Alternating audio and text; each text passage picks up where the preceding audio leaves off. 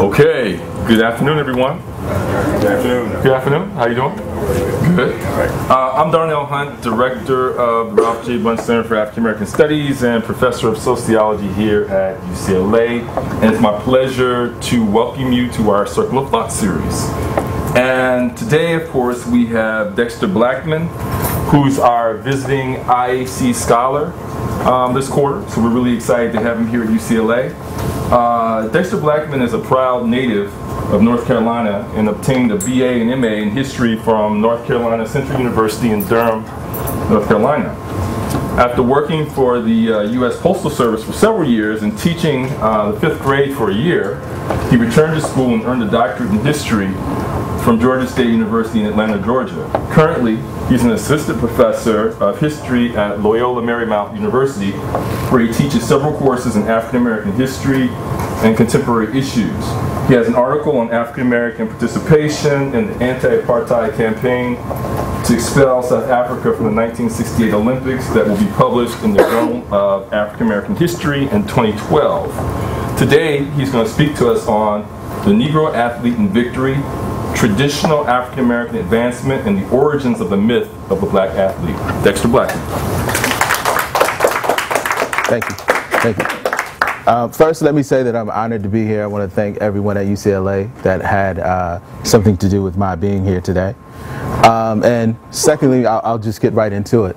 Let me give you a little bit of research about, let me give you a little bit of background about how I got to this particular research. Uh, I wrote my dissertation on what you probably know as the revolt of the black athlete. Um, and I wrote it on the revolt of the black athlete as a black power movement. That may sound a little odd because it, it seems connected with black power, but the historiography never contextualized it as a black power movement. There's been a lot of recent scholarship on that particular movement that allowed me to kind of contextualize uh, this moment into that movement. So I use my dissertation as a way to say some things. I use my dissertation as a, a way to study a local movement to say some things about the larger uh, black power uh, movement. Now there are several components of the revolt of the black athlete. One you probably know is Muhammad Ali's protest against the, the Vietnam War. Uh, there's also uh, student athlete participation in the black students movement and there's professional athletes participation. There's also another component that I focus on and it's called the Olympic Project for Human Rights and it centers around basically uh, Harry Edwards' effort to organize an African American boycott of the 1968 Olympic Games. And that component, again, is called the Olympic Project for Human Rights. Harry, uh, Harry Edwards went on to be a professor at Berkeley as, as well as continue to be active in a number of different things. Well, Edwards said that the boycott failed to materialize primarily because of something that he referred to as the myth of the black athlete. And I thought that was very, very interesting, right? What, what is this myth of the black athlete? This movement happened during COINTELPRO. And indeed, Harry Edwards, Tommy Smith, who you see in the center here, John Carlos, and a few other the main activists were harassed by COINTELPRO, right? But Harry Edwards said that, that of all the obstacles the myth of the black athlete rather than COINTELPRO was the central reason why a, a, boycott did not happen. Now, the boycott compromised into protest, and that's how you get this famous moment. But I thought that was very interesting, so I wanted to look at the myth of the black athlete. I, I understood what he was saying by the myth of the black athlete, but I wanted to know why this idea was so powerful. So, in one way of talking about this, really I'm talking about why the black athlete became kind of a, sim, a, a, a symbol of racial advancement in the black community. Why did the uh, black athlete become so popular? This kind of idea that he or she or, or any particular uh, black athlete was responsible for racial advancement. So I told my advisor that, and unfortunately, she made me write a chapter or two on it in my dissertation. And so, as I continued to develop my manuscript, um, these chapters, that parts of these chapters and ideas go into the manuscript, but not. So I've kind of been working on this as an article uh, this particular semester. So I'll read parts of this, but I'll also stop and share some some anecdotes uh, with with you guys um, as I go along. So so let me begin. The myth of the black athlete partially has its origins in civilization. Civilization is a prominent 19th century concept that amalgamated Western religion, class, Western religious, class, racial, and gender biases to justify European imperialism and the subjugation of women and non-Europeans. According, according to Turner, the Central century American nationalists, civilization, which is the moral perfection of, of man and society, advanced through conflicts with the races.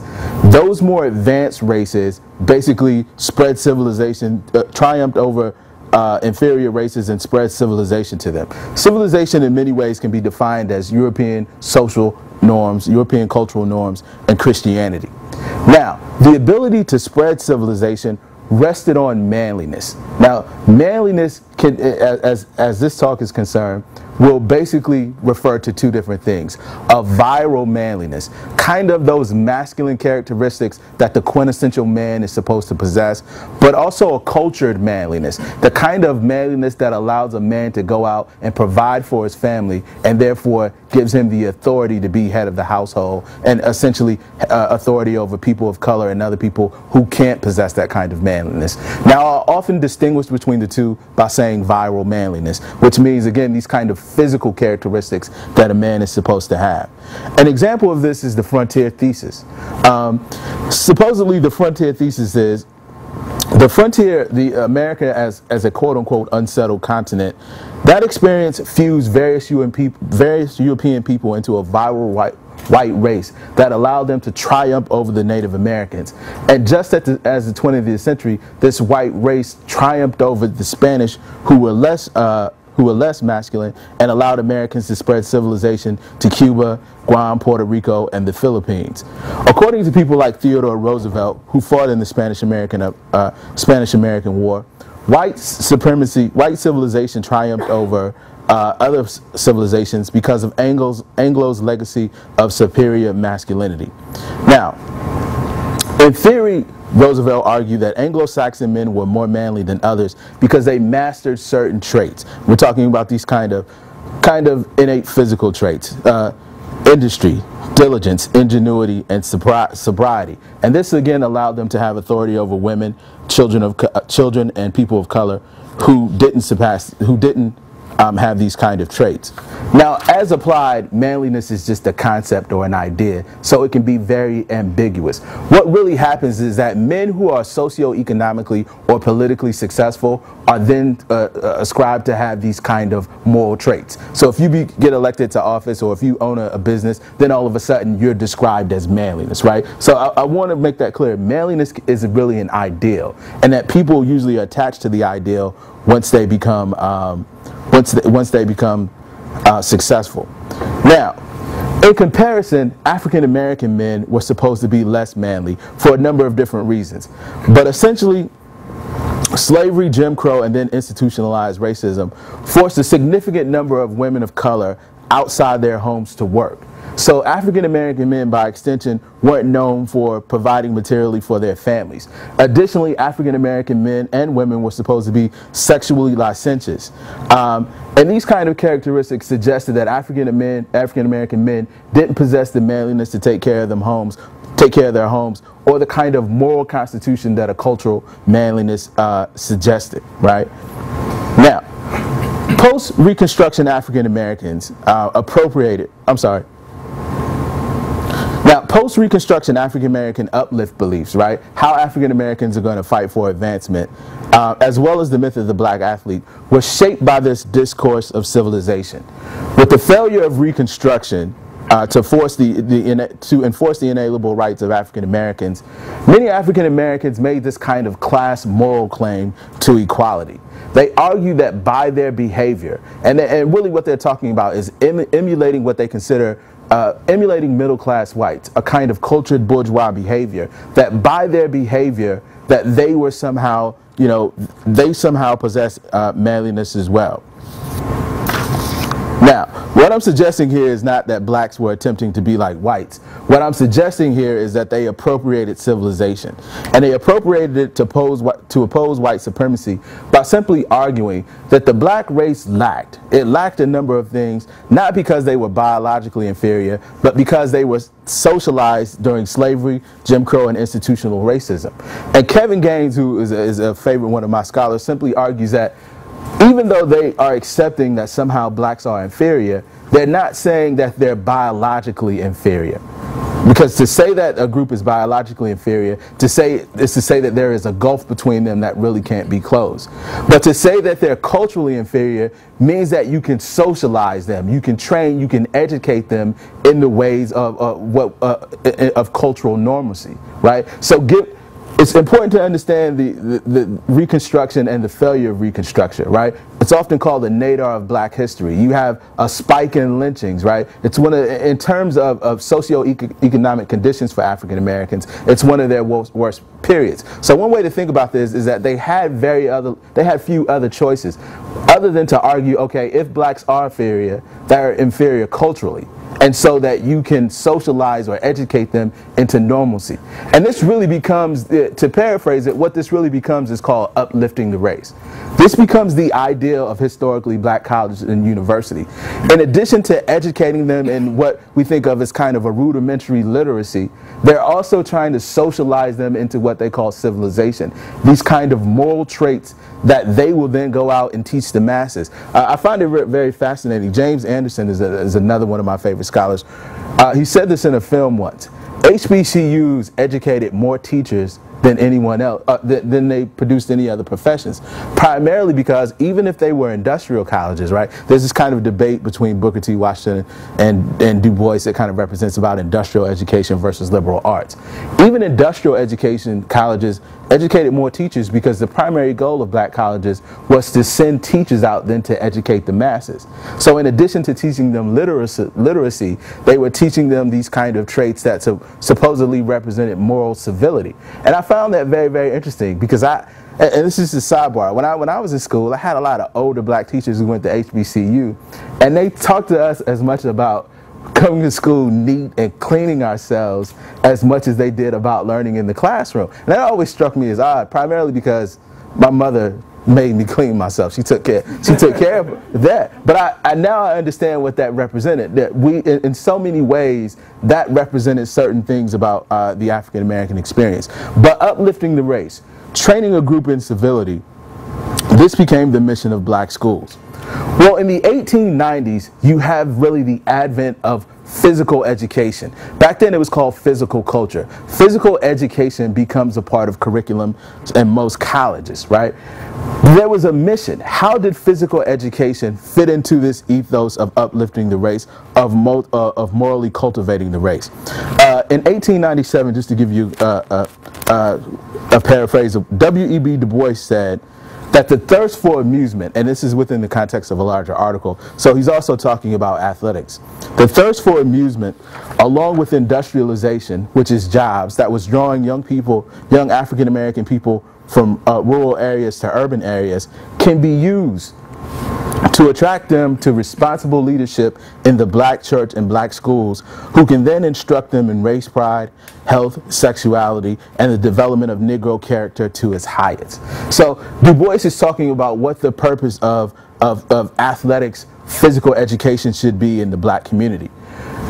Earlier that decade, before Du Bois made that comment, black schools had already begun to um, add physical education to their curriculums. And essentially, there were several thoughts about uh, physical education uh, in, in black schools. Number one, it could produce a viral manliness. Um, and that was important because it was an industrialized society and people there were these new diseases surfing surfacing in industrialized society so health uh, health took on a new importance and how to stay healthy. And exercise was a part of that. Exercise could keep you healthier uh, uh, longer. But also, by the time you get to the 1890s, you have these imperial intentions. And around uh, 1914, you're going to have the Great War. So physical education in black schools was also advocated as a way of training black men to be ready to participate in the military. And that in and of itself would also convince whites that blacks possess manliness. So when physical education came to black schools, the purpose of it was to cultivate a viral manliness among African Americans. Uh, so that, that was the purpose of, of physical edu education at black schools. Now, to say all this about a viral manliness, This is how the concept begins to develop in African America. But it's actually a little bit older than this. Since the end of the Civil War, this kind of concept about viral manliness was also attached to blacks in the military. But it's not until the 1890s that you see it articulated fully as it concerns blacks in the military. And I, and I must confess at this point, that's probably one of the weaknesses of, of the article thus far. I, the, the books on blacks in the militaries haven't really concentrated on this until lately, right? This whole notion, uh, and so they, they kind of suggest that yes, it did it did win manly credibility for the race, but there's no real discussion on it until lately. I think actually a UCLA alum just wrote a book, Torchbearers of Democracy, and I just picked that up, and so he's one of the first people to actually start talking about it. So that's something I plan to incorporate uh, in, into my paper. Now that's how this kind of myth uh, starts in the black community. Um, my screen is dark, so I'm hoping I don't mess anything up. No. Some lights here. No, no, no, no, no, no. This computer screen. No, this computer screen. Oh, okay. Yeah, so I'm hoping when I hit this button, I don't mess things up up here. Okay. Now, the myth of the black athlete first began to articulate it fully in the 1920s, following the emergence of several black champion boxers and sprinters. But it was, wasn't until the 1930s that the, that the myth gained widespread credibility, particularly in black America. And this is with the ascendance of Jesse Owens, who is one of 19 uh, black Olympians or blacks to go to the uh, Olympics to represent the United States in 1936, and Joe Louis, who becomes a heavyweight contender at the end of 1934, early 1935. But their ascendance needs to be contextualized within the growing imperial tensions that will eventually lead the United States in, into World War II. Now, just to give you a little uh, sh uh, short history, uh, in 1933, Hitler basically commandeers the German government and he begins to agitate imperial attentions first with France. Um, and one of the things that it does, he's, uh, he's also uh, vehemently anti-Semitic. And one of the things that comes out of this is that in 1934, a number of American and, and European civil society organizations want the, the Olympics, which are scheduled for Berlin, to be moved out in 1936. So there's this kind of civil society protest that develops to push the Olympics out of Berlin. Now, the IOC uh, and, and, and, well, yeah, the ILC essentially says that Germany's political and religious beliefs have nothing to do with their ability to host the Olympics. So, you know, the Olympics can stay in Germany. But what this does is, one of the things that this does to the American team is there are a lot of wealthy Jewish people who support the U.S. Olympic team, and they threaten not to support a U.S. Olympic team going to Germany if, the, if, if it remains there. Now, so the boycott kind of fizzled out by the beginning of 1935. But then in 1935, Hitler enacts the Nuremberg Laws, and this basically strips German Jews of citizenship. In addition, uh, he occupies something called the Rhineland, which is this region between Germany and France that they have fought over several times. And, and, and it's a, of, a violation of a World War I treaty. He also supports a, a coup of the Spanish government. The Spanish government is democratic. There's this fascist group trying to overthrow it. Hitler, in many ways, is involved with, uh, with a number of these things. So the boycott, in and of itself, you know, they're suggesting that the boycott needs to be revived. What happens in African America is, is that they really kind of sit the boycott debate out. No one directly uh, talks about it. You have um, the NAACP is the only organization that directly says that you know African Americans should not participate in the Olympics. The U.S. team as a whole should not go. But the vast majority of African Americans says Af African Americans in the U.S. team should go to the Olympics, and they offer a number of different reasons. They say number one, why would, should we support a boycott that the Jews are involved with? Because the Jews don't support anti-lynching legislation, right? But David Wiggins, who is another scholar, essentially says is that African American newspapers basically say that the best way to refute Aryan and white supremacy is to go to the Olympics and win medals. If you do that, then you will show them that you are as manly as they are. So competing in the Olympics becomes a better way than protesting to gain black advancements. That, that's one of the things that they're saying right?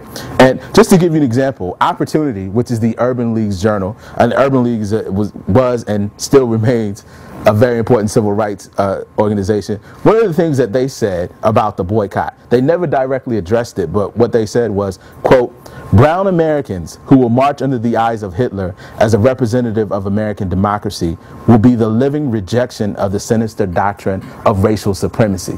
So while they never say go or don't go, that's their kind of quote. And it's kind of obvious, right, that they, that they are suggesting go. And this, this kind of uh, language proliferates throughout the black press. Now, the uh, Olympic experience there. The Olympics happened in August 1936.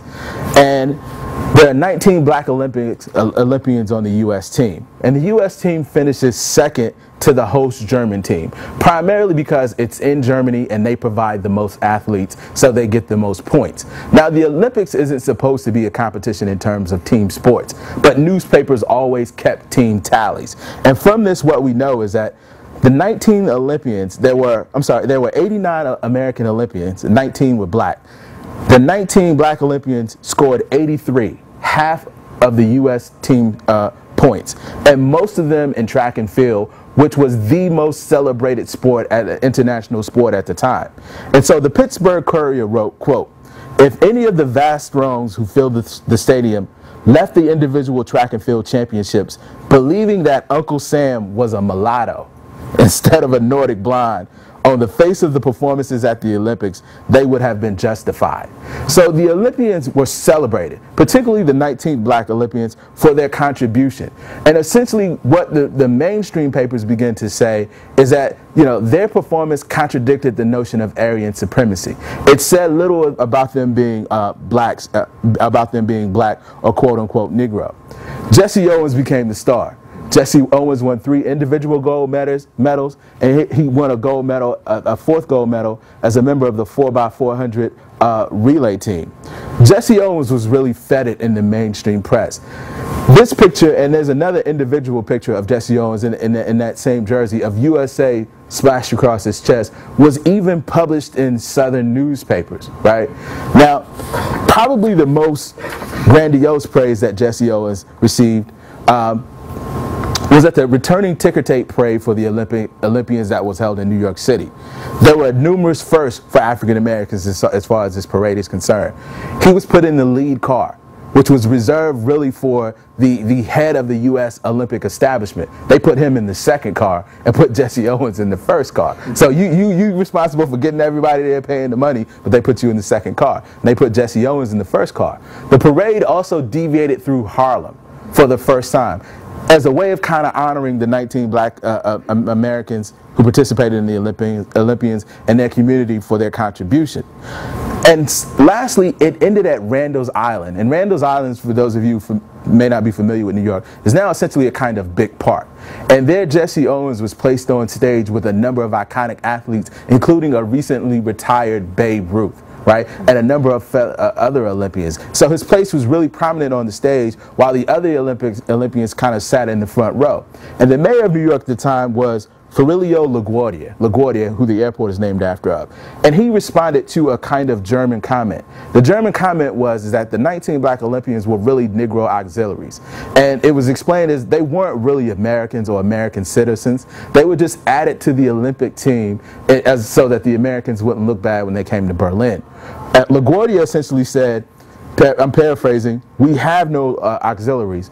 We're all Americans here. Jesse Owens, you're my number one American, right? So in the mainstream press, he was called an American and not a Negro. And those kind of comments actually got more play in the black press than Owens' actual accomplishments, right? That's what people talked about. Uh, the mayor called him, uh, uh, the mayor of New York City called him an American. This was taken as proof that virility actually was something, uh, demonstrations of virility were actually something that could advance the black race. Now, I'll come back to that in a second. Joe Louis. Joe Louis wasn't as initially successful against the quote unquote Nazis. Uh, in 1935, he lost to a German, uh, a German challenger who was a former heavyweight champion. His name was Max Schmeling. When he lost in 1935, despite you know the kind of anti-German uh, anti-German propaganda that was developing in the American press. His loss was deemed as the logical outcome of white supremacy. Two men fighting, one black, one white. A white man is always going to beat a black. This was despite the war. Uh, eh, so he lost in 1930. Uh, yeah, 1935. Despite that, two years later in 1937, he earned a championship bout against a fighter named James J. Braddock, a white American. He won. He became only the second African American to win the modern uh, heavyweight boxing championship. There's some dispute about what modern means, but essentially uh, people divide boxing beginning about 1880. You have the pre-modern and the modern. And if that is the case, other than Jack Johnson, he is the second African American uh, to win. And Maya Angelou remembered uh, when um, um, when um, Joe Louis won this this championship, and she remembered her family celebrated in an unusual manner. Blacks in rural in rural Southern just didn't go out in the middle of the streets, holler and scream and talk about Joe Louis and things of that nature. But she quoted, she called it, quote, the night when Joe Louis proved that we were the strongest people in the world, unquote. So she also remembered it as a show of virility. It was the night that Joe Louis, you know, proved African Americans were the strongest people in the world. Now, a year later in 1938, he got an opportunity to fight Schmeling again. And this fight was again clouded by the imperial attentions tensions that would develop and would lead Europe to war less than a year later. And another scholar, Donald McRae, he talks about it. The press describes it differently this time. It's a fight between democracy and fascism.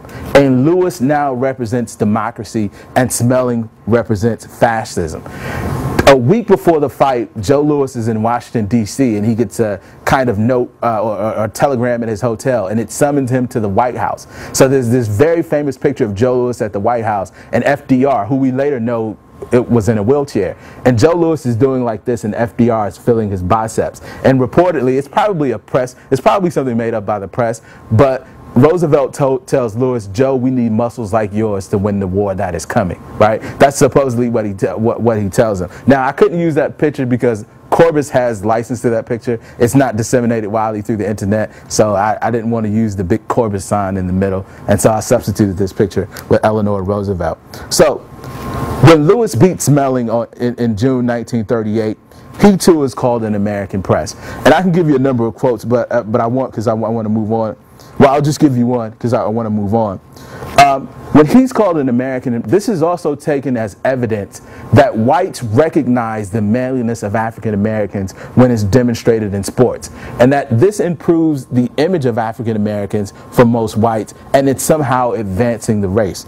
Charles H. Williams, who is a, is a famous coach and administrator at Hampton Institute uh, in, in the 1930s, uh, after the Joe Louis fight, he, he writes, uh, quote, yeah, mainstream praise of the athletes, quote, disclose the world more willing to pay homage to where homage is due. The press in every section of our country was generous in carrying in its front pages and sport, sports pages glowing accounts of the exploits of Negro athletes. The American people were proud to have to have been represented by young men who so ably defended the, the stripes, the stars and stripes on foreign soil. Their demonstration and character won new friends for the race that they represented, right? So by the end of 1938, after this fight, this kind of myth of black athlete is fully being articulated in the black community, right? It's being articulated some in the white community because as I said earlier, the kind of praise that black athletes are receiving in mainstream newspapers carries as much weight in black newspapers as the actual accomplishments themselves. So it's being articulated fully by the end of 1938. But it's also contested. It's also contested in the mainstream press. Okay, uh, and, I'm going to talk about two ways it's contested, but I think this is particularly uh, uh, interesting.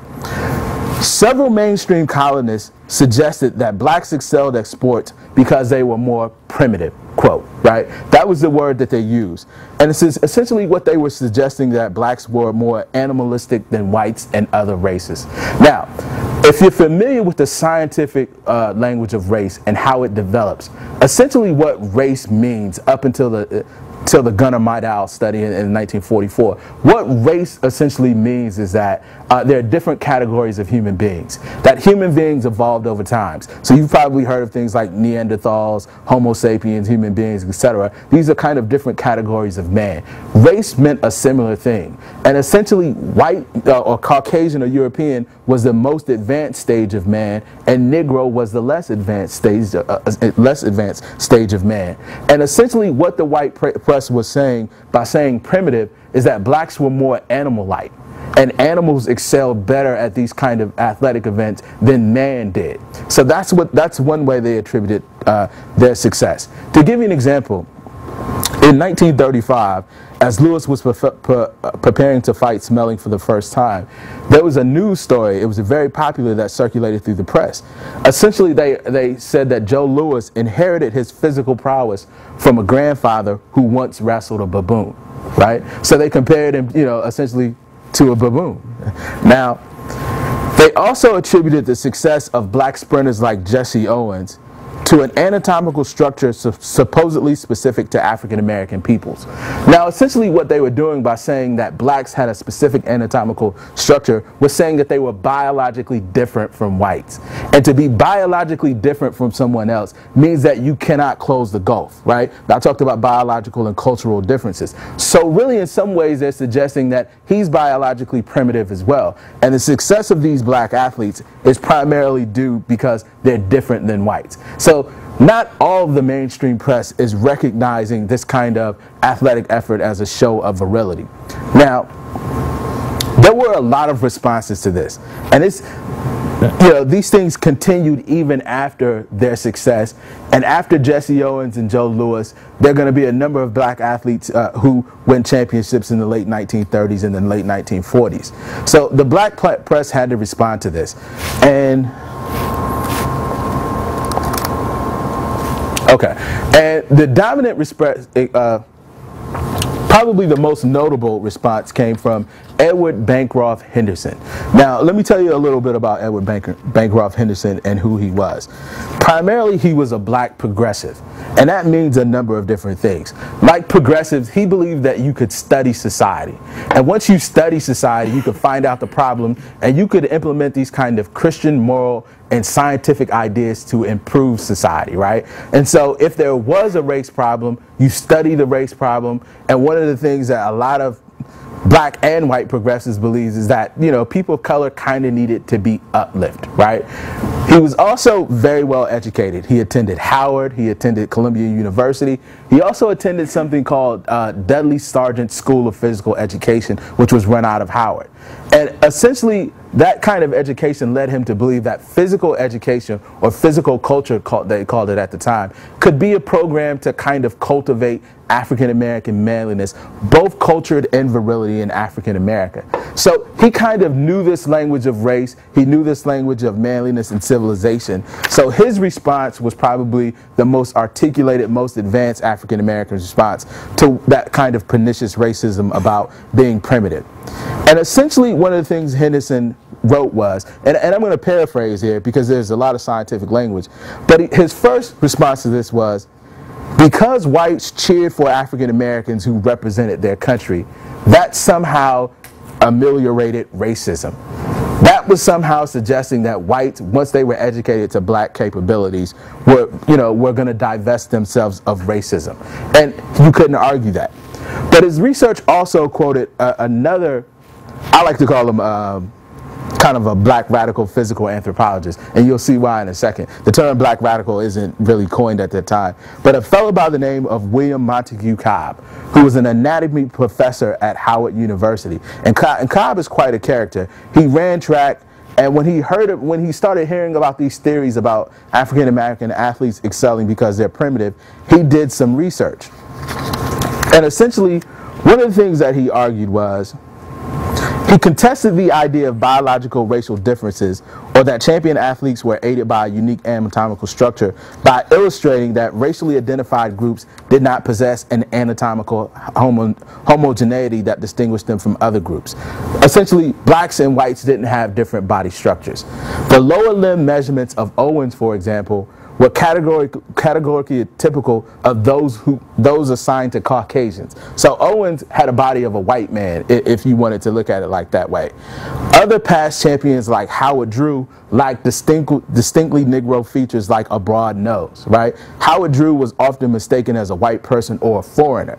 So if this was true, then uh, you know there was no typical anatomical homo, homogeneity that was responsible for you know, black success on, in track and field.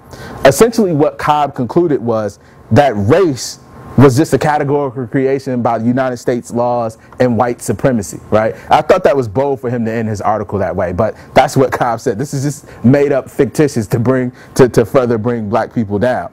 And Henderson quoted that uh, widely in, in, his argument, and, and no one in the mainstream press really responded to that. But additionally, Henderson added something else.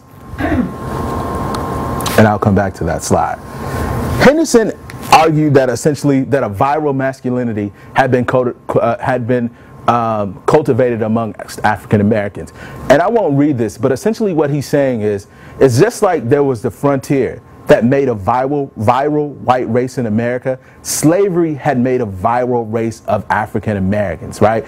The weak ones had died out during the Middle Passage and during slavery and since.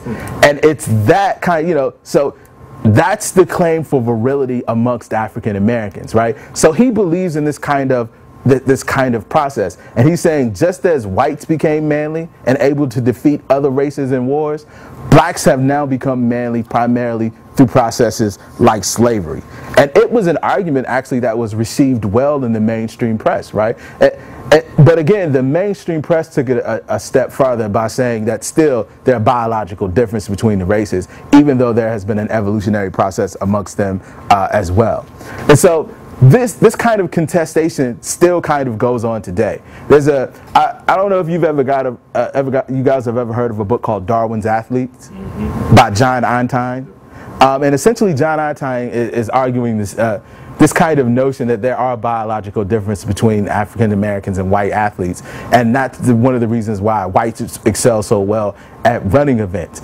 And I, um, I had to, he's a, he's a white guy, so I had to kind of break something down to him. He was trying to convince me of this argument one day in this conference. And I simply told him, I said, maybe, maybe it's not true. But whenever you start talking about biological differences to black folks, they don't want to hear it because they know what that means. It's the justification for the fact that they're inferior. So I, I really don't know the scientific research the way that you do, but I know whenever you go in front of a room full of black folks talking about they're biologically different, you're not going to get too far with that. But that book came out in 1995. And so the, that kind of contestation goes on today, even though to a lesser degree.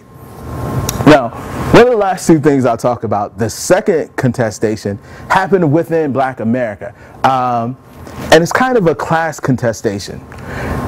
As the Olympics approached and people realized that there would be a significant number of African Americans on the Olympic teams, one of the things that came out of this was that the black press began to suggest that black schools needed to put more money into Olympic sports like track and field because those produce examples of African American manly capability. And by doing that, you, you essentially accelerated, you know, the process or the African American struggle. Okay, so put more money into track and field. Um, now, to give you an example of this, another Hampton Institute coach wrote, quote, that black colleges do not seem, I'm sorry, Negro colleges do not seem to realize that the development of even a single Owens or Ralph Metcalfe, who was another sprinter, would bring more national and international renown to their institutions than a thousand of their so-called football classics, which, which are played by black schools and therefore gain no national attention. If, if you're from the South or know about the South, uh, a lot of black schools have these traditional football and sometimes basketball rivalries, homecoming, but not just homecoming, and they tend to bring out most of the community, right? By extension, the coach argued that track, track and field meets, except those in the Souths, they invited all athletes, including African Americans. So the spectacle of African American beating whites would further, in track and field events, would further educate whites to black capability. And so you saw this kind of debate, you saw that kind of discussion emerge uh, in the black press. But there was a response to it. African American educators and those educators who also ran African American schools. Because in the 1920s and 20s and 30s, you still had a lot of whites who were presidents of HBCUs in the South. So you have uh, African American educators, and then you also have these uh, white males, and pr primarily who are presidents and, and, and deans at uh, African American schools. They rejected this kind of uh, they rejected this kind of emphasis, and essentially they said manly virility was not representative of the kind of cultured manliness that was going to win African Americans respect and advance the race. Okay, so they kind of reject this idea. The, the, They didn't reject the idea that the, the, the accomplishments of African Americans didn't change whites' minds about African Americans. They simply argued that it wasn't the best route to go. Now, to give you a little background on this debate a little bit further, really why African American educators respond this way is that in the early 1920s, the mainstream press began to report on something called tramp athletes. Essentially, these players who would go to colleges, get paid and play for that college for a year, move to another college, change their name and play for them. So you have these kind of experience of these men who for about 12 years travel across the country under a different name, collect a paycheck from the football coach and play football for that university. This led to a five-year massive investigation that resulted in the 1929 Carnegie Foundation report. Now that report says a lot about education, but the, the, the four parts to it, and the third part talks about the growing financial and uh, financial and academic scandals in sport. Now, this report didn't look at black schools. But if you go back and look at the CIAA, there are a lot of tramp, tramp athletes there as well. And so what many black educators are worried about that if you know tramp athletes are discovered in black schools it further tarnishes their reputation many of these black schools have to go to southern state legislatures and get money right and so these white men in the state legislature are always looking for a way you know, not to give black schools money. Many of them have to go on these missionary missions to raise money across what we think of now as the Midwest, Ohio, singing in California. So they don't want to have to deal with this the, the, further tarnished image. And so by 1924-25, many black schools, including Fisk, Howard, um, and Morehouse, have curbed intercollegiate athletic sports. They are what we call de-emphasizing it. They're, they're limiting the number of games. They've cut back on academic scholarships, primarily because they don't want to be attached uh, to the kind of scandals in sport. It becomes such an uh, issue that after 1929, Du Bois and his protege George Streator write a number of articles about it in the crisis. The only time that Du Bois ever wrote about sports. And essentially what he said is, if there are tramp athletes at black schools and it's found out, the white people are going to take white people are going to take it as evidence that there is a cultural and moral laxity amongst black people and then maybe we should do away with sports and so some schools attempted to do away with sports now this argument played out so, so when educators are responding to this in 1935 and 1936, they're not just res responding to that ideal uh, uh, uh, of more emphasis on sports. There's a whole legacy behind it about tarnishing the reputa reputation of the reputation of the institution. Now, how the debate plays out is that essentially beginning in the late 1930s, you have a proliferation of African American boxers who begin to win different titles and crowns. And in the late 1930s, you see a number of schools in the Midwest and in California begin to increase their recruitment of blacks to play athletics at schools right? And so this kind of answers the, the, the, this kind of answers the debate in and of itself. That white schools, more white schools are recruiting black athletes, and black boxers are getting more uh, attempts um, to win championships. So this kind of solves the debate. Black athletics, uh, I'm sorry, athletics at black schools, they never uh, re-emphasize their particular program, but the idea that the black athlete is somehow involved in racial advancement lives on primarily because the press continues to report on what, what we can call the integration of sports in the uh, 1930s. Now, I doubt that I can go back because like I said, my screen is, is black. But the last component of the debate happens in, well, it really begins to happen in 1939. Edward B. Henderson writes a book called The Negro in Sports. And it's really the first book, book length treatment on African American athletes. And essentially, one of the things that Howard, uh, Henderson begins to argue is essentially there is a history of whites recognizing black manliness through athletics, right? And that's the purpose of the book to demonstrate the history of black participation in athletics. And along with that, it's all these articles are in there from mainstream newspapers that praise black athletes. So really what he's not, he's, he's not only giving you a history of say black athletes since slavery, he's giving you a history of white acknowledgement of black athletes accomplishments since slavery. And this book is published in 1939 and, and at the end, and at the end of the book, you know, he pays attention to the, to the debate. And he says, You're right. You just can't have athletics without the moral purpose of cultivating manliness in it. That's very important. But what's also very important is that you emphasize or you put enough money into athletics so that you have these wonderful examples like Joe Louis and Jesse Owens who've advanced the race. Now, this is a quote. It's, it's very sentimental, but essentially what he says is that the German people got hope from Jesse Owens' performances, right? Despite the fact that Jesse Owens beat a lot of Germans on the track and that they were rooting for the Germans. He said that, you know, they got hope from those 19 black Olympians. They got hope from Joe Louis that one day the Nazi veil was going to fall. This was the opening salvo of America defeating Germany. That's essentially how he characterizes that. And, you know, as historians or scholars, we try to use empirical evidence. This is purely sentimental. But this is what he's arguing. The book, The Negro in Sports, was really received uh, a kind of endorsement from Carter G. Woodson. It was published on his Associated Press and advertised widely in the black press and some in the white press. But that led it to be a, a book of note. For the next seven decades, it's published in 1939, it becomes the leading source on African American achievement.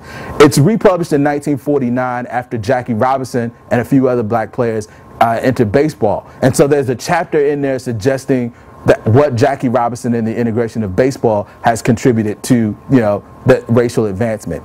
It's republished in 1968 I'm sorry, 1969, after the revolt of the black athlete. It's a different name then. It's a Time Life book, but it's essentially Henderson who wrote it. And many of you who have the Ebony Jet Dictionary collection, like my grandmother, you have that book about Negro in sports, because that, that's where I first saw it, right? But it's kind of it's kind of published in 1969 as again as a rebuttal to Harry Edwards' argument that blacks should use sports as a form of protest.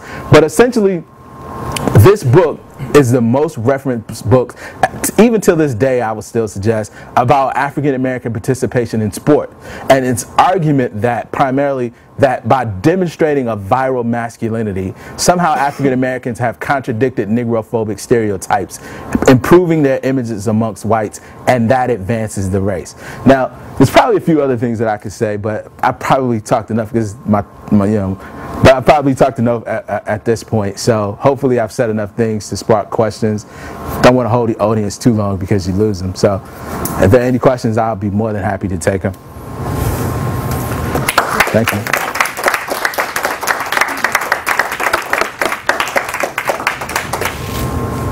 Uh, who?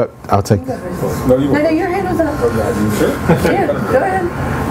Um, I hadn't thought about this before, but um, the um, you, you, mentioned Joe Louis, and you mentioned a number of boxers that were being, I guess, recruited by white colleges.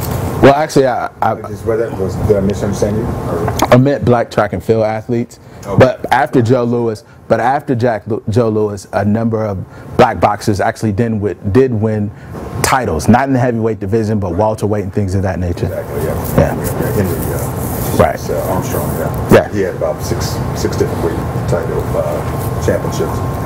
But, but here's my question. Um, did, and I don't know anything about this that particular period in, in, the history of boxing in the United States, but were boxers and, and I know there were obviously there was boxing as a collegiate sport. Were black students or black student athletes ever uh, did they achieve anything in the boxing uh, ring in the college world? Yeah, you know it's very interesting. Um, the CIAA, and those of you not fam interested with, familiar with the CIAA, it used to be called the Colored Intercollegiate Athletic Association. Now it's called the Central Intercollegiate Athletic Association. Back then, it was kind of what the NCAA is to all colleges. It was primarily made up of colleges like from Delaware, Maryland, Delaware, Maryland, Maryland, Pennsylvania, North Carolina, Virginia. But even the schools in the Deep South always kind of came to the annual CIAA conference. And they actually did have a tournament for black boxers, right? But outside of the South, you didn't see many black boxers recruited to um, um, what you, predominantly white schools. Boxing kind of had, and it probably still does have this stigma that it's not necessarily, um, I don't know, you, you don't find many educated people doing it. And so black boxers who did it in many ways came from the, the, the, very low working class. And they did it as a way to make money to kind of escape that kind of, you know, that the, the low socioeconomics, right? And so it was, as far as I can tell, from my reading, college boxing was never big. The good boxers almost immediately after Golden Gloves, which ends around 17, 18 years old, went into the professional ranks. So you did see teams like Morgan State, of course, which is a black school, had a, a primarily, but when I look at the records about like Michigan, um, Minnesota that had boxing teams, I wasn't able to find any blacks on, on them as well. Now I haven't exhausted the history, but but no, um, really, really what happens is is that during the World War II, for two different reasons, basketball and football become integrated. And they become integrated because they produce the most revenue on college campuses. So you can't afford to pass up a good athlete who's going to help you win, who's going to help you draw a crowd to a stadium, put you on radio, then later television to make you more money, right? That's really why sports begins to integrate. Boxing isn't going to make you a lot of money. It might get you an article in the paper. It's not going to make you a lot. So there's less emphasis on integrating, you know, a sport like boxing than there is football and then basketball. Thank you. Yes, ma'am.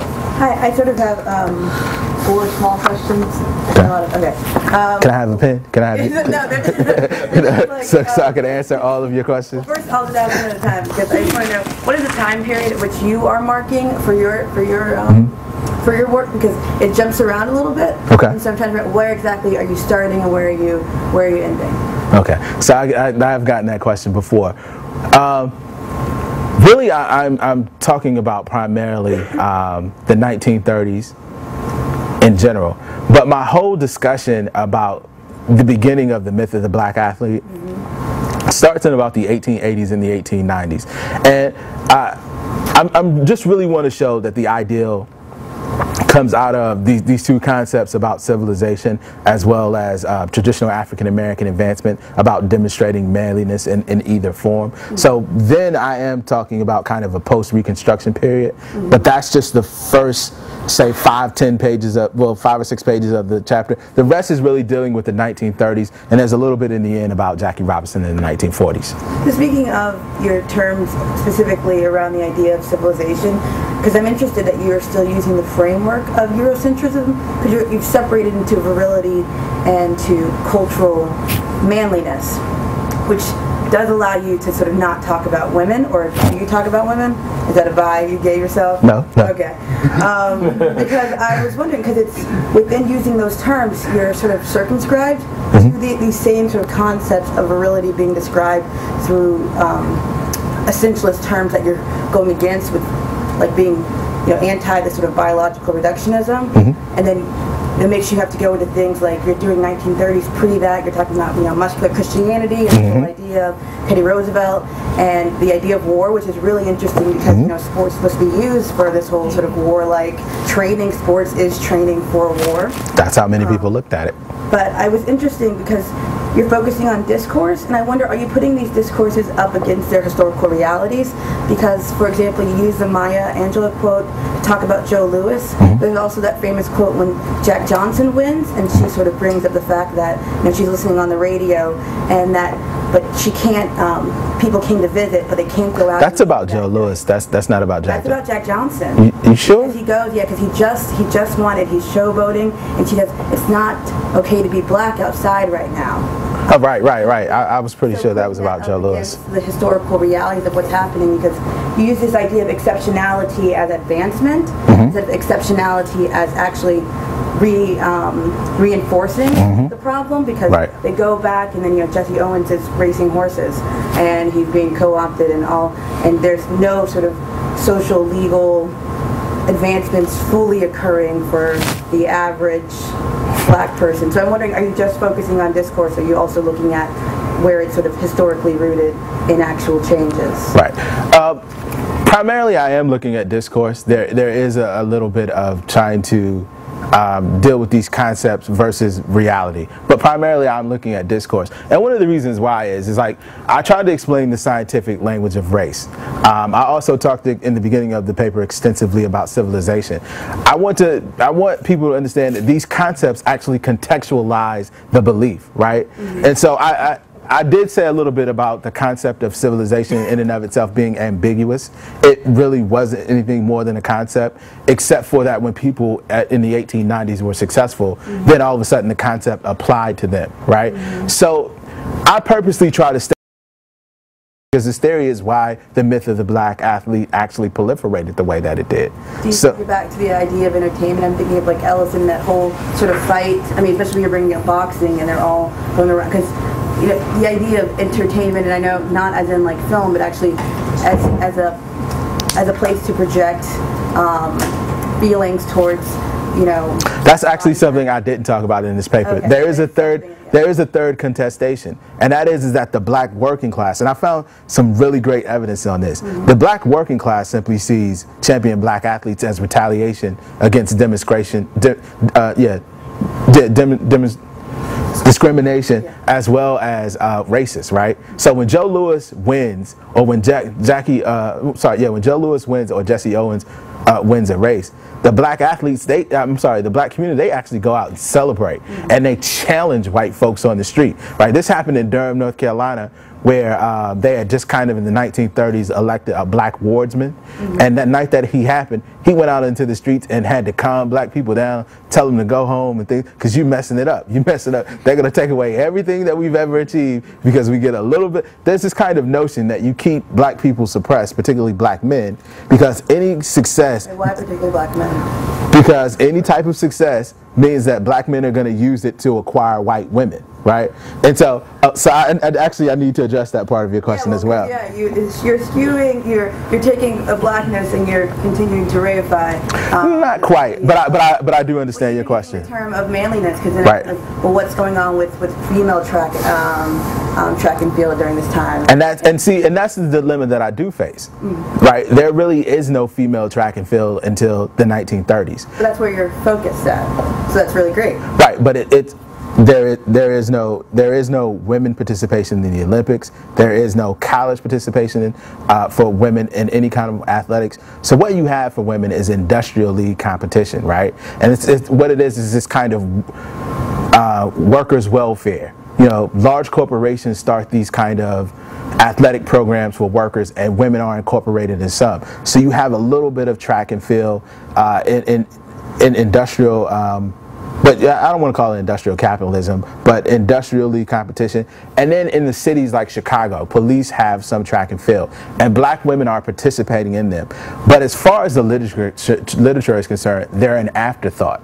As far as women entering this kind of discourse and being talked about, there's actually a debate about this once you get to the 1950s. And the debate is because the Russians have a women track and field team, which means that the U.S. needs to have a women's track and field team and send them to the Olympics, and later a dual meet between the United States and, and uh, Russia.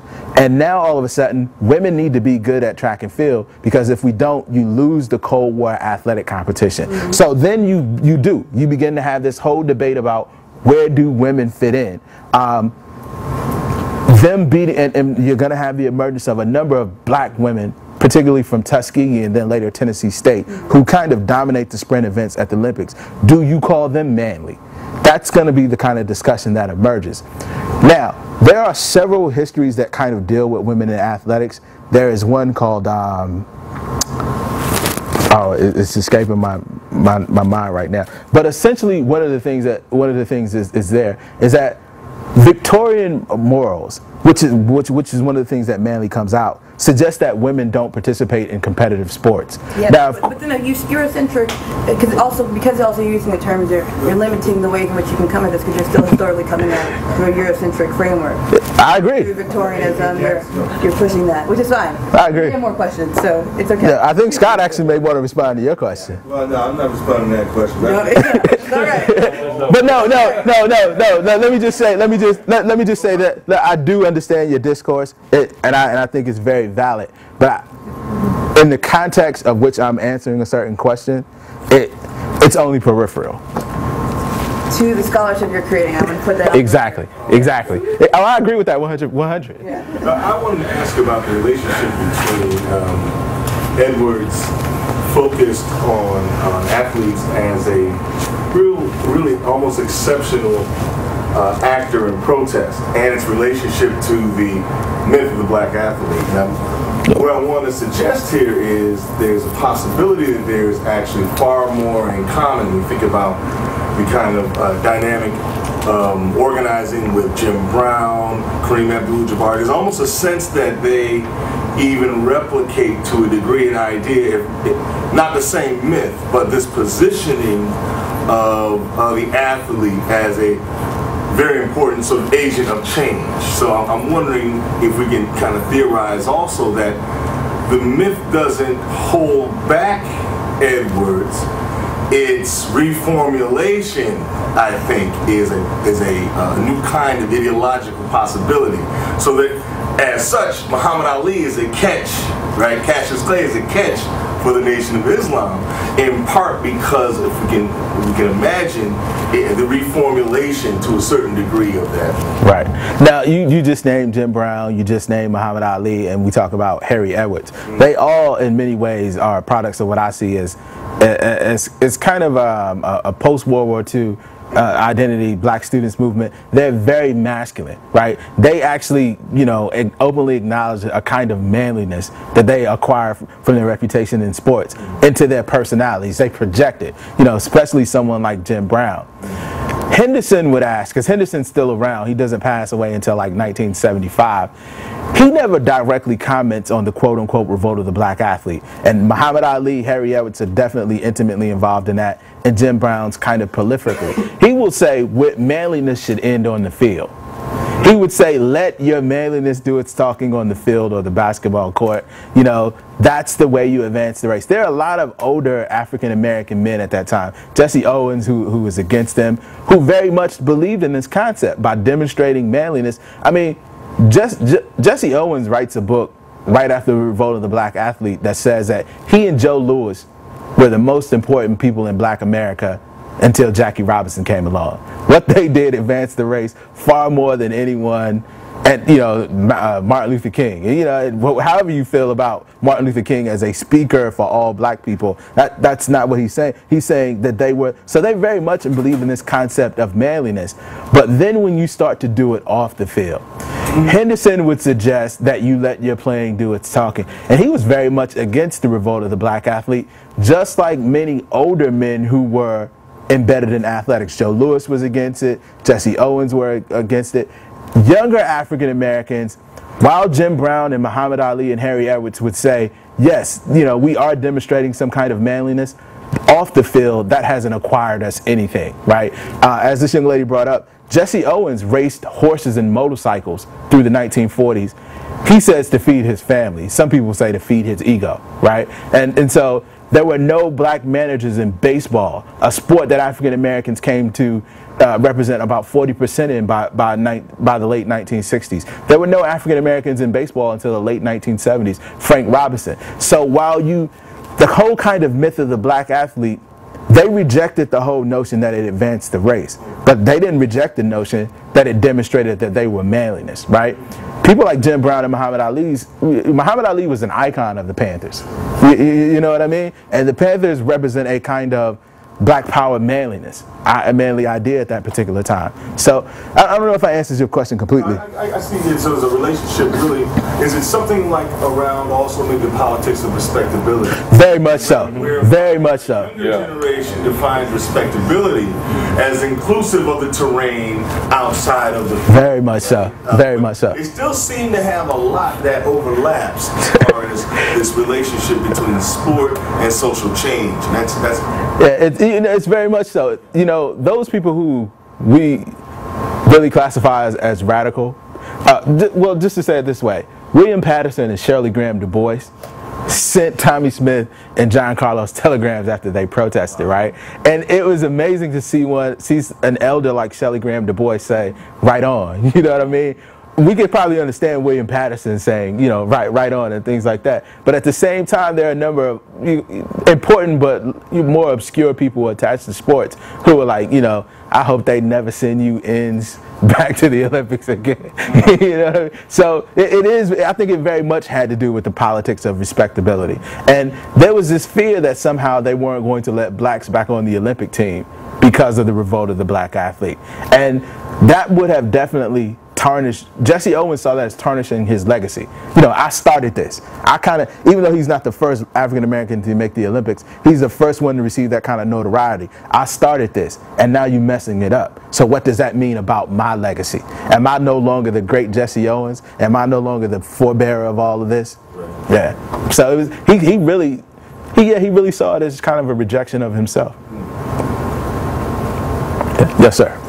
Um, I'm, I'm, still trying to formulate my question here. Okay. Um, but, but I think um, one of the things I'd like to hear you talk a little bit more about, and you allude to this in a number of places, but I was waiting for you to kind of deliver like the comprehensive discussion of it. I didn't hear it, and it's probably someplace else in your in your in your work. But I just wanted you to talk about this a little bit. This whole duality, you know, mind-body duality. Mm-hmm and which obviously has been an issue, you know, for, for, for decades and decades and decades in African American communities. And if you think about, you know, the discussion we, we've been just having about these different historical moments and which uh, side of the duality seems to win out in terms of making the argument for black advancement um, as we're shifting and adjusting to changing realities on the ground, which is what these discourses are all about. Mm-hmm. Responding to mm-hmm. circumstances, integration, nationalism, whatever, what seems to work in a given moment, and, and there are different proponents, and there are people from different periods who are maybe wedded to this strategy because of what they were able to achieve, and they're against people in later generations who are wedded to this strategy. But somewhere in there is this mind, you know, body duality that um, is sort of harnessed in different ways depending upon the circumstance. And, and there seems to be a point at which there's a transition, although I don't know exactly when that point occurs or what triggers it, that I, I kind of hear echoes of in, in, your in the history that you were sort of elaborating from the 1930s. And I, I was expecting, I guess, you to kind of make the point that um, the 1936 Olympics were this big turning point, you know, um, that um, sort of sort of uh, shifted the, I guess, the uh, the balance, you know, in terms of the debate. Except if you think of the NAACP, for example, right, I mean, they they've been engaged in this this this um, campaign, you know, since their beginning in the, in the early 20, uh, 20th uh, century, to kind of, you know. Uh, discourses of respectability, you know, integration, you know, the way we're you know, portrayed in movies and film, um, you know, with this whole idea that we have to be um, seen as similar to be embraced and right. to be included. Right and and yet some of these other arguments would seem to fly in the face of that effort. So I'm, I'm just curious to, to to see how you think this whole duality was being dealt with by either side, you know, um, throughout these, these these these periods. Right. Uh, well, I hear I kind of hear two questions in there. So yeah, yeah I think I, that, that's my sort of still trying to figure out how to reconcile. Yeah. Yeah. Okay. Yeah. So I, I think the Olympics, it, the 1936 are the Olympics are the big turning point.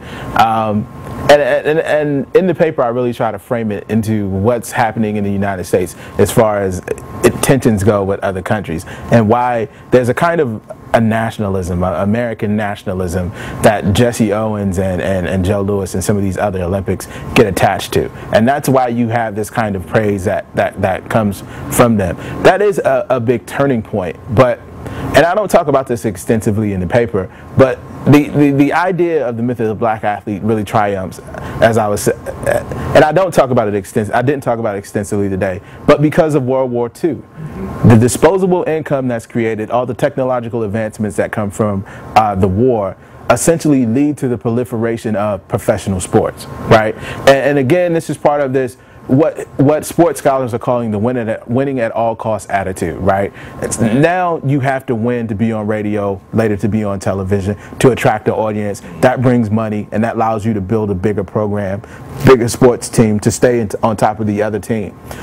Those sports that produced revenue, including wrestling in the South, right, become integrated before before the other sports, and that really is the kind of you know that is the kind of convincing argument you know, there's a continuation of integration of bringing black athletes into uh, these kind of what were white institutions, and so that kind of there needs so that that, that kind of wins the argument about does the black athlete really represent a form of advancement for African Americans?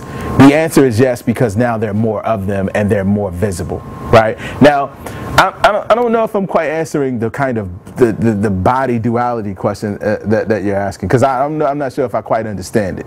So, yeah, I mean, I, I, guess you know one argument might be. Um, is this is this? I'm sorry. Is this about the scientific racism?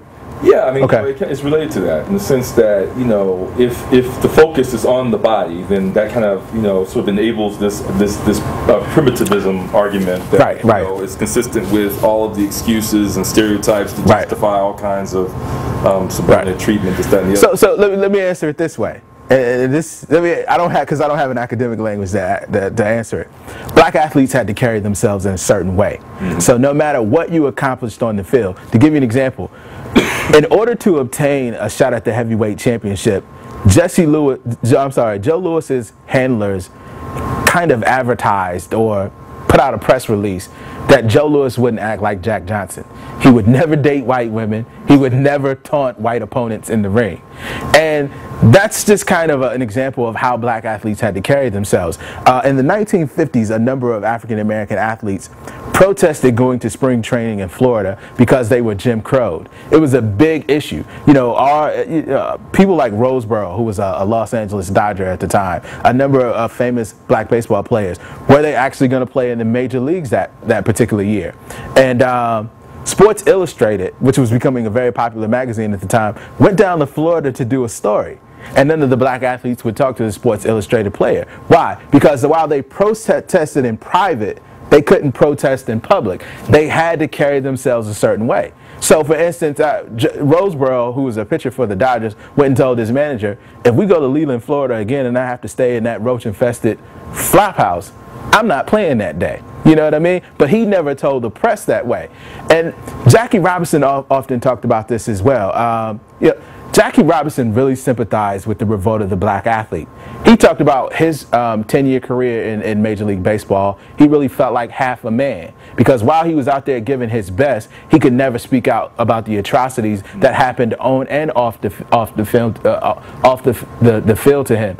And so, um, while that black body was supposed to signify manliness within the lines, off the field you couldn't take that. You could, you really couldn't take that assertive, that privileges that supposedly belong to other men. You couldn't, Didn't right? transfer. Right. It wasn't until the 1960s that when you know black baseball players went to St. Louis and later Atlanta, that once they just decided we're not going to play if we can't stay in the same hotel with our teammates, that hotels were integrated, right? So the Jackie Robinson, and, I, and I would agree with him, that manliness wasn't re- respected off the field for African American players. So, and that leads to the whole question: Then, was it ever respected? Right? Wa- Was it was it was it ever seen as manliness by white America, or were they just out there rooting for athletes?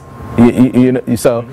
That, that's that's that's the way I, I would kind of answer, answer it through a number of black athletes' In a- In a way, experiences. it's sort of like a containment strategy. It's kind of similar to the duality. You know? Black soldiers faced it all the time. Soldiers at, in Jim Crow South. Apply it when it's appropriate, and then put it back in the can when, when, when it's not. Right, we got black night at the bar and we got soldier night at the bar. Yeah. All right. Okay. Yes, ma'am. Oh, oh sorry. uh, Let him go. For people who We'll do our, our, our one-two on it, yeah. Okay. Uh, Mine, mine is, is that's just focused on Jackie Robinson. At the Anderson, we had, he was uh, a commissioned officer in the Army, and he was probably able to express himself more during that period than he was when he became a, a- a Brooklyn Dodger, by the way. Roseboro was Brooklyn Dodgers. Okay, okay. And then moved to LA. Okay. Uh, 59 or so. But, um, so that's, and some people said that because uh, Jackie had to hold in all this, uh, you know, keep keep from exploding, he was very uh, fiery personality, he was very competitive and that kind of thing, that, you know, that he died younger, you know, because he held all that stuff in, you know. That's what his wife. That's what his wife Rachel would say. Yeah, So it's just, that's not